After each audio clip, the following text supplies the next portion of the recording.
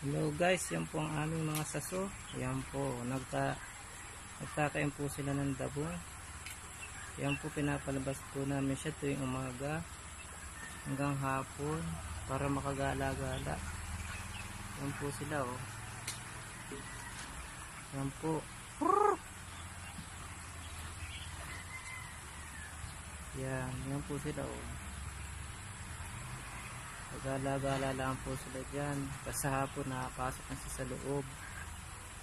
Yan. Isang buwan pa lang po yan. Hindi nyo na sila kalalaki. Yan po. Hmm.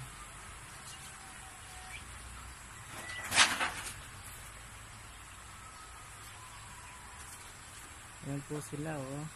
Yan. Oh, ano na po sila. Masama po sila nagagala.